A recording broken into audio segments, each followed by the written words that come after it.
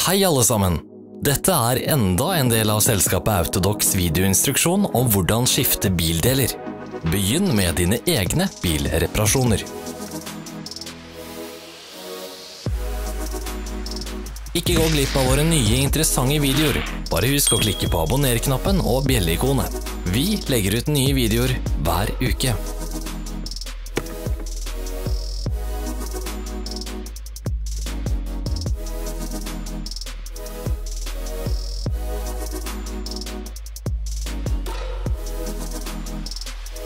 Se beskrivelsen nedenfor for lenker til nettbutikken vår, hvor du kan kjøpe reservedelene.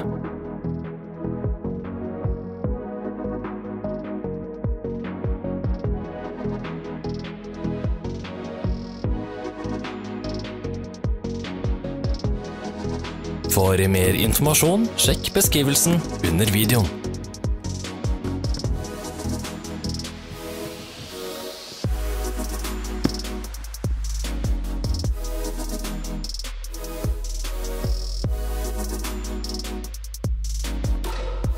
Ikke glem å abonnere.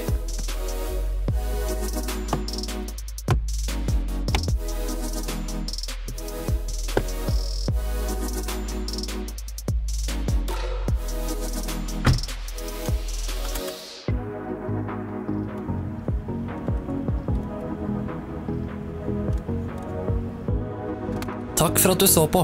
Hvis du likte videoen, skriv til oss i kommentarfeltet.